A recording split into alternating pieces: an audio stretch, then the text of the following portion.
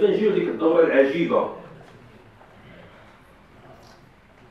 اللي فيها شوية الاختلاف الخلعة فيها شوية ديال الاعتمار فيها شوية الحضور الالزامي فيها شي واحد مسكين كان عنده شي التزام وهو مرهون أنا عارفه عنده التزام كان في سبعه ونص يكون في واحد الخمس ولا السبعة. وكيتمنى في يخطط في هذه الجلسه لأنه مسكين ما قادرش يغادر. ولكن بغيت عن واحد اللفظ اللي ما خصوش يسيء لكم ولا تظنوا أنكم معنيين به. هو ولد زروان. الله يجازيكم بخير لا تعتبروا هذا الوصف يمس أي واحد منكم. لفظ ولد زروان هو لا يمس شخصا هو واحد واحد العبقرية مغربية في الوصف. فيها لا فيها مقومات. إذا تجمعت فيك أو لا فيا فيك انت هو الزروه جمعت فيا أنا هو الزروه شنو فيها؟ فيها اولا واحد توليفة واحد الخلطه فيها اولا سياسيون ضعاف. هم بشر مثلنا. لكنه لكنهم لا يعصون من يأمرهم ويفعلون ما يؤمرون.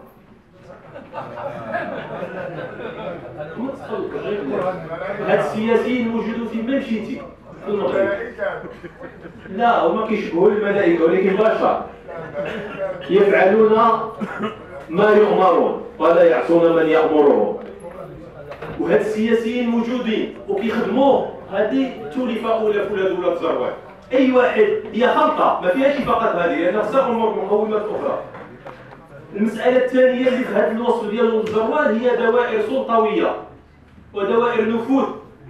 تتحالف موضوعيا في اتجاه يسير عكس وجهة المغرب والمصالح هذه واحد الدوائر ديال النفوذ ودوائر سلطوية ما فهماش الواقع ما عرفاش المغرب فين ماشي. ما عرفاش أن المغرب تغير.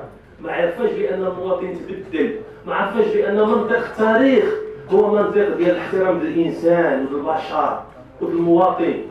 وبالتالي هي كتكون شي عجائب وغرائب. وتظن بأن داك الشيء اللي خدم قبل راه مازال كيخدم هادشي ما يمكنش.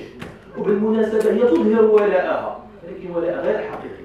وتعرفون في تاريخنا المعاصر وتاريخنا القديم أن الانحناء والمبالغة في الانحناء ليست دليلا دائما على الولاء الحقيقي. أكبر الناس اللي كان عندهم ولاء حقيقي لدولتهم والملك هم. ما كانش فيهم شرط الانحناء والمبالغة في الانحناء. كثير من الذين انحنوا قاموا بمحاولة انقلابية. كثير من الذين انحنوا وبالغوا الانحناء كانت عندهم مؤامرات على الدولة وأساءوا إلى الدولة. فلا تنخدعوا. المكون الثاني هو هذا. المكون الثالث وإلا تجمعوا هادشي في شي واحد فينا راه يعرف راسو أموال وسخة نتنة كسبت بها غير طرق غير مشروعة. وتنفق بدون حساب. واش عمركم شفتوا شي واحد كيكسب المال الحر بالعنت والتعب. كينفقوا كيف ما اتفق. نفقت أموال وسخه نتيجه في بول زروان وأنتم شفتوا ديك اللقطات الحمد لله. يوتيوب مازال شاهد عليها. ها الخلطة الثالثة اذا كانت راه هو ولد زروان المكون الرابع. استثمار في البؤس وفقر فئه اجتماعية هشة.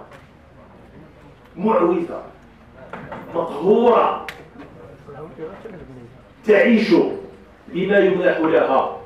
تذكروا ديك المرأة المسكينة اللي قالت لي بسببها سميت مسيرة الزروال والزروال. وأنا في ديك النهار اللي كان صداع كانت واحد السيدة مسكينة واقفة رافين رافين.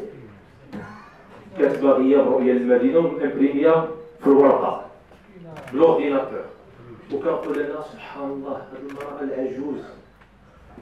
التي تبدو عليها مظاهر الهشاشة. كيف لها أن تفقه في الحاسوب وكيف لها أن تفهم معنى غياب رؤية المدينة؟ وكيف لها أن تتحرك من الأطراف ديال المدينة وتجي مسكينة نص ساعة مرة تهضر واحد مخدمها كتقول واش ماشي كيقول لها مازال؟